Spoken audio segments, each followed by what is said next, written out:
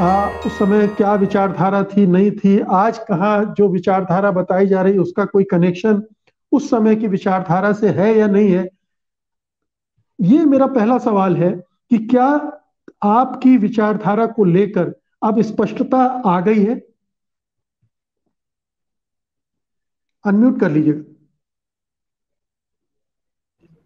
मुकेश जी आम आदमी पार्टी एक ऐसी पार्टी है जो अपने जन्म के समय से ही विचारधारा शून्य पार्टी है। इसलिए ये कहना कि अचानक आम आदमी पार्टी को इस बात का ध्यान आया कि नहीं, उनकी पार्टी के साथ, पार्टी की कोई विचारधारा नहीं है। लिहाजा विचारधारा को हमको स्पष्ट करना चाहिए। ये बात थोड़ा भ्रम को और बढ़ा देती है। देखिए विचारधारा के तीन बड़े महत्वपूर्ण अवयव होते हैं, एलिमेंट्स होते हैं। पहला हर विचारधारा का की का एक यूटोपिया होता है। आ, उसके बाद उसमें एक विचारों की एक एक श्रृंखला होती है जिस और सिस्टमेटिक श्रृंखला होती है। और तीसरा उसके साथ एक एक बड़ा संगठन होता है। आम आदमी पार्टी से अगर ये पूछा जाए कि आपका आपका यूटोपिया क्या है तो शायद उनको बताने में दिक्कत होगी। अगर उनसे पूछा जाए कि आपके विचारों की श्रृंखला क्या है तो भी बताने बताने में दिक्कत होगी। संगठन में तो आम आदमी पार्टी को यकीन ही नहीं है। अगर आप किसी सीपीएम से पूछेंगे तो सीपीएम धड़ल्ले से आपको बताएगा कि वो एक क्लासलेस सोसाइटी बनाना चाहते हैं। मार्क्सवादी, लेनिनवादी उनकी विचारधारा है। और वो जो पूंजीवादी समाज है, उसके बरक्स जिसे कहते हैं workers of the world, unite की बात करेंगे वो।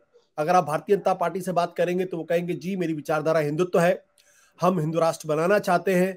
और हमारा एक बहुत ही व्यापी, बहुत ही बड़ा संगठन है। ऐसी कोई स्थिति दरअसल आम आदमी पार्टी के साथ है नहीं। तो अब सवाल ये उठता है कि आखिर आम आदमी पार्टी ये विचारधारा की बात क्यों कर रही है?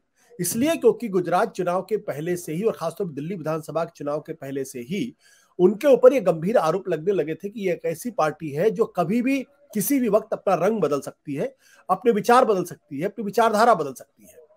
जो आम आदमी पार्टी एक जमाने में आ, आ, मुस्लिम तबके को अपने साथ लाने के लिए की, की बात किया करती थी आ, उनके रोजा इफ्तार में शिरकत करती थी मुस्लिम नेताओं के साथ खड़े होने की कोशिश करती थी उनके साथ फ़ोटो को बहुत सोशल मीडिया पर वायरल कराती थी।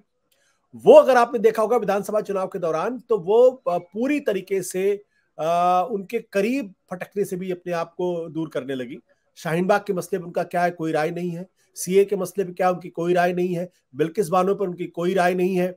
आ, और आ, जो दंगा दिल्ली के अंदर हुआ वहाँ पर उनकी पार्टी का पार्टी की तरफ़ से कोई ऐसे कार्यक्रम नहीं किए गए जिसके आधार पर कहा जाए कि दरअसल उन्होंने रिहेबिलिटेशन के लिए कोई गंभीर प्रयास किया है।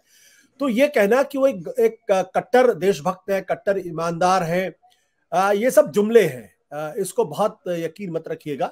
कोई किसी भी पार्टी को अगर आज की तारीख आप समाजवादी पार्टी बहुजन समाज पार्टी या फिर रिपब्लिकन पार्टी से पूछिए वो भी कहेगी हम तो कट्टर देशभक्त हम तो कट्टर ईमानदार हैं। कोई ये नहीं कहता कोई और कोई पार्टी ये नहीं कहती कि धर्म और जाति के आधार पर वोट देती है या उनका उनका पोलराइजेशन करती है। भारतीय जनता पार्टी भी कहेगी वो कट्टर देशभक्त और कट्टर सेकुलरिज्म में उनका यकीन है। तो ये ये जो ये जो बात कहने की कोशिश की गई है दरअसल वो ए, आ, ये सिर्फ़ एक हम कह सके कि जुमले से ज़्यादा इसको तरजीह नहीं दी जानी चाहिए और ना ही इसका कोई ज़्यादा अर्थ निकालना चाहिए। जी।